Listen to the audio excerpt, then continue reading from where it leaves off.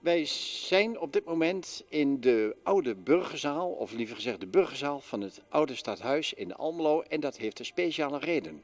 En of dat een speciale reden heeft. Uh, ja, want ik kan u vertellen dat wij uh, vanaf uh, 15 januari tot en met eind maart, ik noem u 10 weken lang, een tijdelijk restaurant gaan voeren.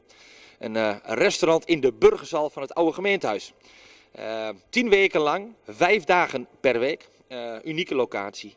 Uh, waarbij wij uh, ja, de hele burgerzaal zullen omtoveren tot een, ja, een soort Marrakesh-beleving. en ja, het wordt waanzinnig.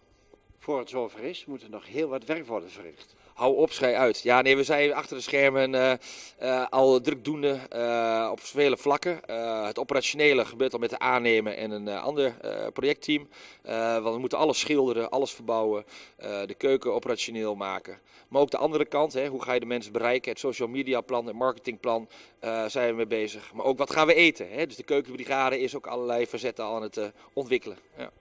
Waaruit komt uw motivatie voort om, om dit te ondernemen? Ja, nou heb je even. Uh, nee, god, ik, uh, ik adem de horeca. Hè. Uh, ik ben ermee opgegroeid. Mijn vader was kookdocent. Dus lekker eten en drinken. ja, daar ben ik met een paplepel bij ja, ingegoten, als het ware.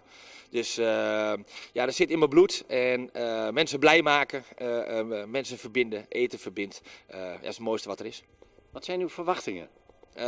nou, we zijn Zeker omdat we twee keer eerder een pop-up restaurant hebben gedaan, uh, vier en vijf jaar geleden. Uh, ja, merk je toch dat er wel ambassadeurs uh, hebben opgestaan voor Brood met Spelen. We zijn in de tussentijd ook gegroeid, dus ik ben ervan overtuigd dat we de winkel vol kunnen krijgen. Wat is de uitdaging precies? Ja, vele vlakken. Hè. Het zit hem op het vlak van hoe krijg je de mensen binnen. dan een hele mooie avond uh, uh, bezorgen.